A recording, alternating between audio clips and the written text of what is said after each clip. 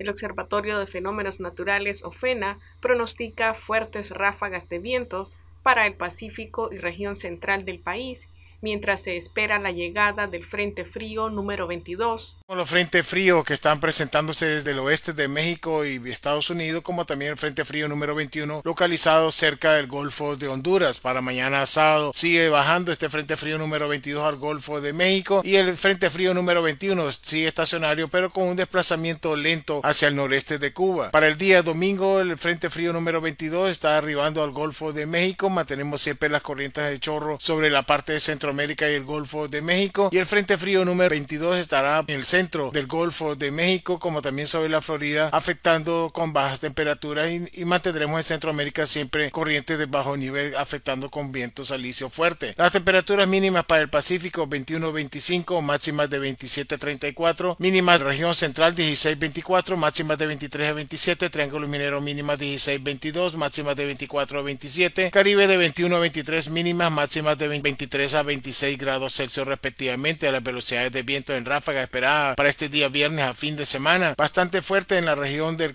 Pacífico de 35 a 62 kilómetros por hora desde la zona de Nagarote hacia Rivas. Mientras tanto, mantenemos en la zona de la región central velocidades de viento bastante fuertes también de 49 a 62 y en la zona del Triángulo Minero hacia el sur de 41 a 48 y en el Caribe de 33 a 44 kilómetros por hora respectivamente. Mientras tanto, las posibilidades de precipitaciones se mantienen siempre con y chubasco desde la zona de Bismuna hacia Cotal, Matagalpa, la zona de Jinotega, en la Tortuguero, Caraguala, Triángulo Minero hacia Huigalpa, como también Laguna de Perla, Nueva Guinea, Puerto Morito y San Carlos. Mientras que el resto del territorio mantenemos totalmente despejado, pocas posibilidades de precipitaciones y algunas llovinas ligeras y aisladas entre las zonas de San Francisco Libre. Para el día sábado mantenemos posibilidades de lluvias con tormentas eléctricas debido a este sistema de baja presión desde Bilwi, Triángulo Minero hacia Ayapal, como también afectando el río Blanco, El Tortuguero y llovina y chubasco desde Cotal, Matagalpa, Boaco, Jinotega, Puerto Morrito, Punta Gorda, mientras que en la zona de Managua, Tipitapa y Masaya, posibilidades de llovina y algunas ocasiones de descargas eléctricas en el transcurso en horas de la tarde, mientras que en la zona de Occidente totalmente soleado, pocas posibilidades de precipitaciones y aisladamente algunas llovinas de Managua hacia el Pacífico y en la parte de arriba pocas posibilidades de precipitaciones. Para el día domingo mantenemos mayor tendencia de posibilidades de lluvia fuertes con tormenta eléctrica desde Bismuna, Rosita,